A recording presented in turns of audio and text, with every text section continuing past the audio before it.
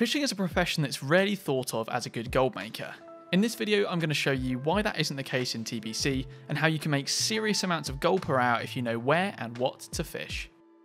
Welcome back everyone, my name is Chazit and today I'm going to show you how you can fish for gold throughout the Burning Crusade and have a lucrative source of income from this criminally underused secondary profession. With fishing there are three main ways you can make gold, but before we can discuss those we need to think about leveling up your fishing skill. This is super simple and to make your life easier, here's how I would do it. The first place you're able to fish in the Outlands is in Zangarmarsh, and luckily this is where all your leveling will take place. Head over to the Cenarion Refuge and speak to Juno Dufrain, who will teach you the Master Fishing ability, which allows you to level up to level 375. With skill level 305, which can be achieved with a strong rod or a lure, you can fish in Umbrafen Lake or the lagoon in the eastern part of the zone. You should fish here until level 355, where you can then fish in Marshlight Lake, Sporewind Lake, or Serpent Lake in the central and western parts of the zone. This will be more than enough to get you to the cap of 375. Whilst you level, keep an eye out for pools of floating wreckage, as contained in the boxes that you can fish up from them is the Weather Beaten Journal, which teaches you the ability to find fish on the minimap, something that is invaluable as you head out to find specific fish pools. Now if you're unlucky and don't find one, then don't stress too much, you can get the Weather Beaten Journal as a reward from the daily fishing quests that I'll speak about a little bit later on. Now moving on to the gold making portion of this video. The first way we can make gold with fishing is by targeting the specific fish that are used in buff food for people's raiding. The four main buff foods that are used with items from fishing are Spicy Crawdad, which gives 30 stamina and 20 spirit, Golden Fish Sticks, which give 44 healing done and 20 spirit, Poached Bluefish, which gives 23 spell damage and 20 spirit, and finally Grilled Mudfish, which gives 20 agility and 20 spirit. These recipes are made with cooking, but all the materials required are from fishing. This should provide you with a steady gold maker throughout the entire expansion. So now we need to look at the fish that we need to catch and where to go and find them. Furious crawdad that is used in the spicy crawdad recipe is found in only three places in Terokkar Forest, and all three of these places are only reachable with a flying mount.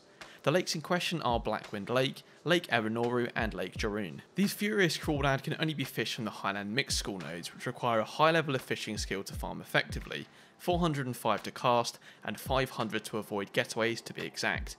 You're going to need to use as much plus fishing skill as you can get, and use an Aquadynamic fishing attractor to improve your efficiency. According to resources made in the TBC era, the average Furious Crawdad caught per Highland Mixed School is 2. The Highland Mixed Schools can also give you golden darters and motes of water. One extremely rare drop that you can get from these pools is Mr. Pinchy, which is an item that has three charges. These are various rewards, but the most sought after one is the magical Crawdad box, which gives you an extremely rare companion pet. Given the requirements to fish these, the fact that you need flying to reach the lakes, and the hard to kill mobs that path in many of the areas, these Furious Crawdad are going to be at a premium at the start of the expansion. There is a huge opportunity to make some fast gold here. Golden darter which are used as part of the golden fish stick recipe can be found in a number of nodes including brackish mixed schools, highland mixed schools and in the open water, but the highest drop rate is from the school of darter which can be found in the rivers around the central part of Terokkar Forest. These require a skill of 355 to cast and 450 to avoid getaways, they have an 80% chance to drop a golden darter, so you're going to get at least 2 or 3 per node, and there will naturally be more of these on the market, but given they're used by all healers, I'm sure there will be strong demand for these still. Icefin bluefish, which are used in the poached bluefish recipe, are found in the waters of Nagrand, and can be found in open water in the waterways around the centre of the zone. They also drop in high concentrations from the bluefin school, which can be found primarily in the riverways between Sunspring Post and Garadar, again at the centre of the zone. These bluefish schools have an 80% chance to yield an icefin bluefish, and depending on location require a skill between 380 and 395 to cast, and 475 and 490 to avoid getaways. Whilst you're fishing in the open waters of Nagrand, approximately 20% of the catch you'll receive will be icefin bluefish. Figluster's mudfish are another common fish that can be fished in pretty much the same places as the icefin bluefish. It can be fished from mudfish schools which share a respawn with bluefish schools, so you're best off fishing for both rather than targeting one or the other. These also have a skill requirement of 380 to 395 to cast and 475 to 490 to avoid getaways. And similar to the icefin bluefish, you're going to get about 20% of the catch being these if you're fishing in the open water. One last thing to add about the icefin bluefish and Figluster's mudfish is that they can be caught in a small but lesser known pool in the Ecodome midrealm found in Netherstorm. There are a number of mobs in the area, so it can be a bit of a pain to get set up, but if you want a peaceful, secluded spot to fish, this place is perfect. The second way to make gold by fishing is by farming for motes of water. These motes can be fished up in pure water pools which are found in Nagrand. They spawn in the riverways in the centre of the zone as well as Sunspring Lake, Sky Song Lake just north of Garadar and the Elemental Plateau, although I wouldn't recommend the Elemental Plateau as an area to fish in as it is likely to be highly contested with active PvP going on. From these pure water pools, you can get between 3 and 9 motes of water in total, and these pools have a skill requirement of 380 to 395 to cast, and 475 to 490 to avoid getaways.